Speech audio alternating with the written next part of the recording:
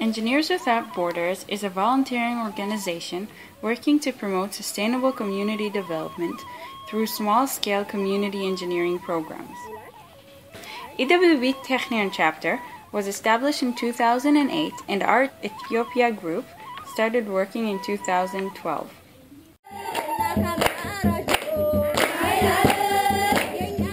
It all started when a little boy named Tamaru from Meskel Christos village in northern Ethiopia came to Israel for heart surgery with the help of Save a Child's Heart.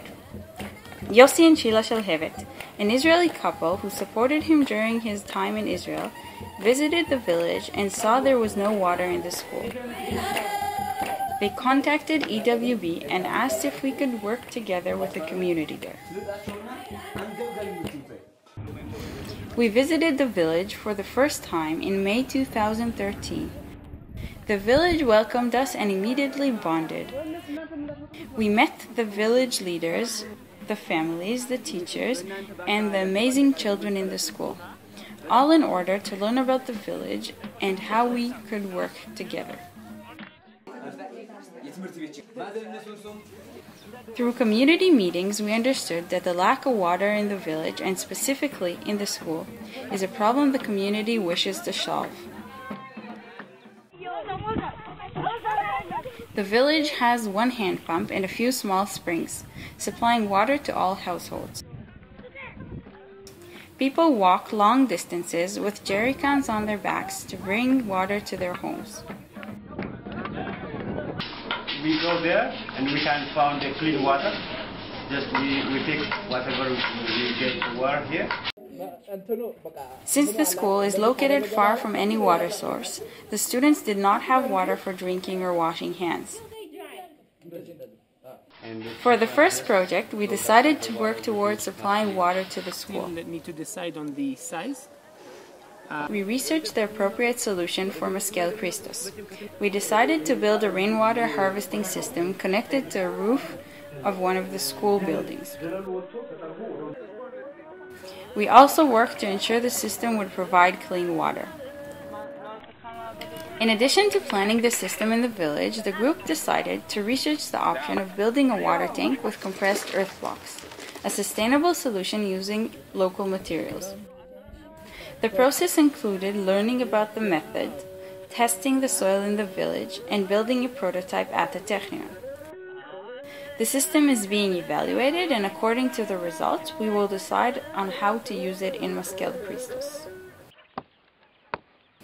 In February 2015, we started a series of visits to the village to build the water system. Together with SILA, our partner NGO in Ethiopia, with the community of Meskel Christos, we started implementing the plans. We all worked together to build the water tank out of stone and concrete. The gutters from tin, a simple method suitable for the village.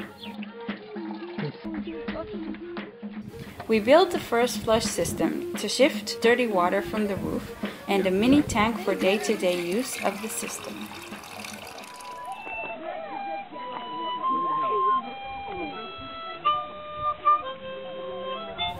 All along the process, in each one of our visits, we always organize activities for the children in the school and for other members of the community.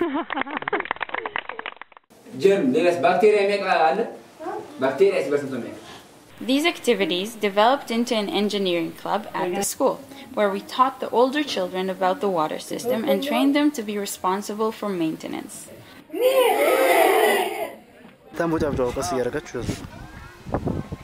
How can we get the water only from the middle?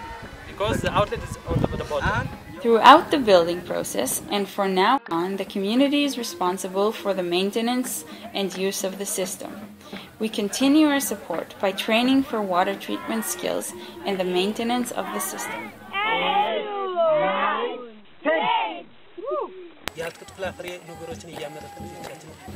The work is not finished. We are already working with the village on assessing the next possible joint project for the benefit of the community.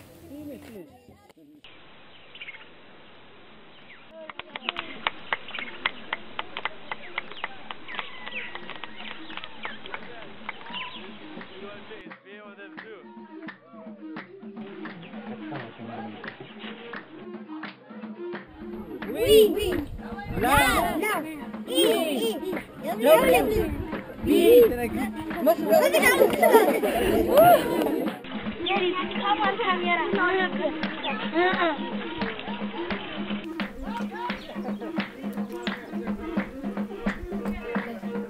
We're more than happy to be here with you and to work here with you on this project. We are also lucky. We are also lucky, all of us.